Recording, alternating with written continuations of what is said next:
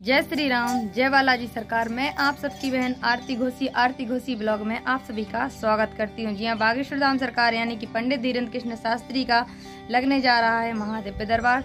कहाँ लगने वाला है, कहाँ कौन सी कथा होने वाली है, इस सब जानकारी इस वीडियो में देंगे। तो वीडियो में बने रहें, क्योंकि आप लोग वीडियो देखते नहीं हो, कुछ दीदी भैया लोग तो पूरा देखते हैं, लेकिन कुछ लोग हैं जो कि नहीं देखते हैं तो प्लीज़ ज़रूर देखना। आप सबको इसमें वीडियो में बहुत ज़्यादा खास जानकारी देने वाले हैं, क्योंकि जो जानकारी है, अभी इसी हफ़्ते से रिलेटिव होने वाली है जो दिव्य दरबार लगेंगे, इसी हफ़्ते में लगेंगे जो बिना टोकन का दिव्य दरबार लगेगा।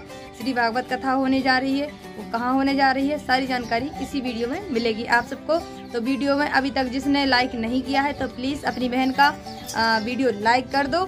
और जो दीदी भैया है, नए होए सुबह अपनी बहन को चैनल सब्सक्राइब कर को, सब्सक्राइब कर ले, करके, करवे के बाद में घंटी के ऑप्शन यानी कि बेल आइकन को प्रेस करके ऑल की ऑप्शन को सिलेक्ट कर लियो तो जैसे ही हम वीडियो अपलोड कर रहे हैं, आप सबके लाने, देखने के लाने मिल जाए तो वीडियो में दे रहा है आप सबके लाने एक बहुत महत्वपूर्ण जानकारी, जो कि आप सबको हनुमान जयंती की। पहले तो आप सबके लाने हम सब बधाई मतलब हनुमान जयंती की।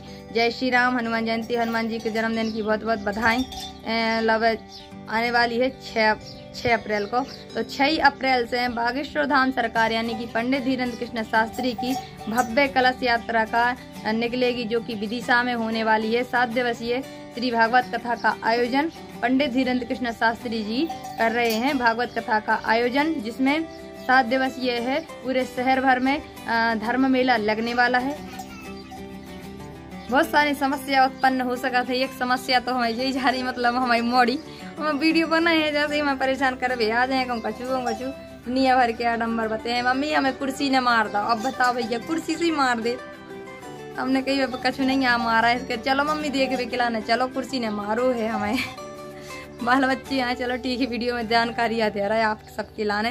तो बागेश्वर धाम सरकार की श्री भागवत कथा का आयोजन हो रहा है विदिशा में, जो कि 6 अप्रैल से बागेश्वर धाम सरकार पहुँचे हैं। बहुत भव्य आयोजन करो जा रहा है। बहुत बड़ो पंडाल बन गया है। कैसे? आज मतलब छः अप्रैल से शुरुआत हुई है, सात अप्रैल से।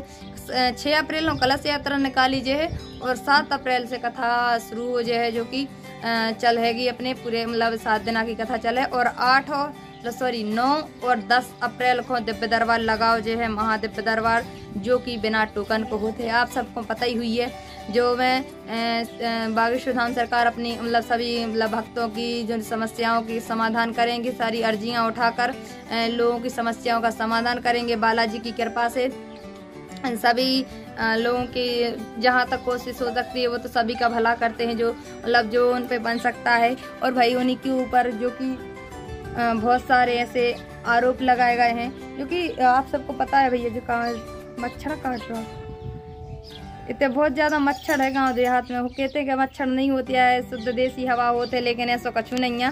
इतने भी बहुत ज़्यादा मच्छर होते हैं। भैया अब जो भैंसे ही जगह थे ऐसी बन ही रहे थे जी भैंसे बन ही। रहे थे और भूसा गाँव गो बारह गाँव का छू गाँव का छू बहुत मच्छर है।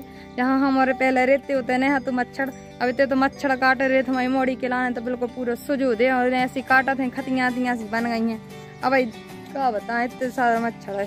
अब हम सोच रहे हैं, अगर आराध्या की पापा की नौकरी लग जाए, भैया बालाजी से भी हमारी अर्जी लगी है कि आराध्या के पापा की जल्दी से जल्दी नौकरी लग जाए, जो छूट गई थी, कछु समस्याओं की वजह से।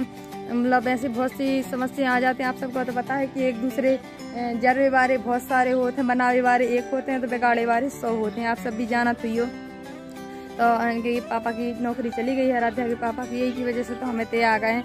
और आप और से यही उम्मीद करते हैं कि आप और अपनी बहन के लाने सपोर्ट करो। और आप सबको पता ही है कि ससुराल में कितनी इज़्ज़त मिलत है, बुंगों की लाने। हमें तो बहुत मिला थे रो रो आते इतनी इज़्ज़त मिला थे हमें लाने। रो लेते हम। इतनी ज़्यादा इज़्ज़त मिला थे क्या करें? मजबूरी में रहना पड़ रहा है। वरना कोई नहीं सोचा था कि अपने सास ससुर से दूर रहे, सास ससुर लेकिन क्या करें? जब सास ससुर बनाए के न रखे, अपनी बंगों खिलाने तो मजबूरन क्या कर सकते हैं? चलो ठीक है, आज की वीडियो में तो इतनी जानकारी। ऐसे जानकारी तो बहुत है, लेकिन क्या करें? वीडियो बनावे को टाइम नहीं है। और हमारी मम्मी मतलब सास मम्मी आ गई हैं, सोना बनाने हमें चाय। तो चाय बना के दे दें। आगे की जानकारी तो अगली वीडियो में दे। जय श्री राम मिल रहा है अगले वीडियो में। तब तक के लाने वीडियो को लाइक और चैनल को सब्सक्राइब।